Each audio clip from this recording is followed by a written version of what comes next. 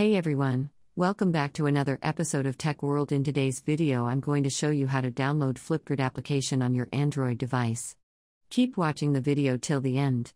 And don't forget to subscribe to our channel by hitting the subscribe button. Press the notification bell icon so that you'll never miss an update from us in order to download Flipgrid application. On your Android device tab, open your Play Store. In the search box at the top, type in Flipgrid and make your search once you find the application in the search results.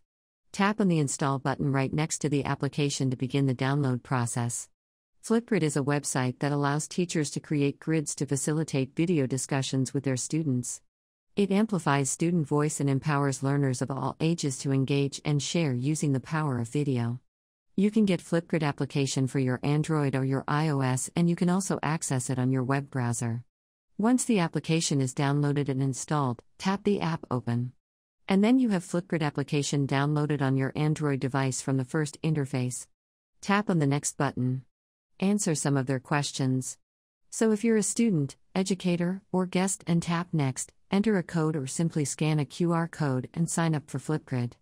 I hope you found the video to be helpful.